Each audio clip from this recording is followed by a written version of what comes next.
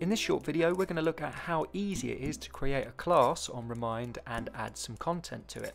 So I'm going to open up the app, as you can see it's pretty streamlined and I'm going to start by creating a class by hitting the plus here. Now all you do is type in a name, in this case it's going to be a geography class, and then press create. In order to invite students into your class, you choose one of these three options. Now the easiest is to choose copy a link. If you copy that link, you can then share that via email or through a parent mail service, however you would uh, communicate with your children. Now the class is all set up and ready to go. What we then do is go to messages and add announcements via this pencil tool here.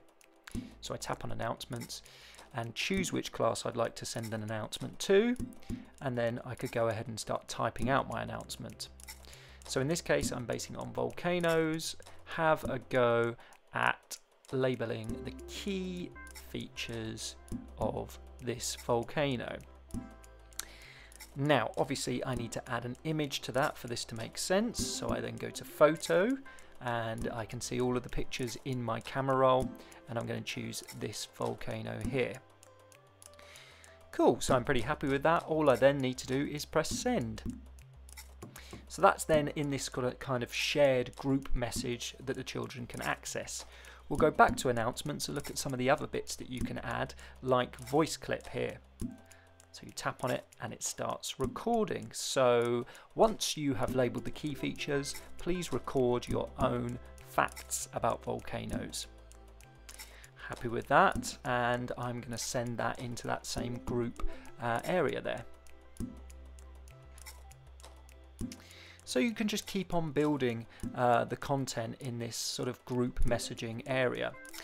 Uh, one more uh, element that I'd like to just point out is all of the different files and all of the different things that you can add to your Remind uh, shared message here. Some of those apps listed there you might already be using. Or you can tap on File and add a, PDF, a keynote, um, some content from GarageBand, all sorts of files. I'm not actually going to do that, I'm going to leave it as that. Now for the student, all they do is they open up the same messaging app, they'll see all of this and then they tap on the content and they download it onto their own iPad to start editing and completing the work. So there you have it, as simple as that. Remind is a really streamlined app for online learning.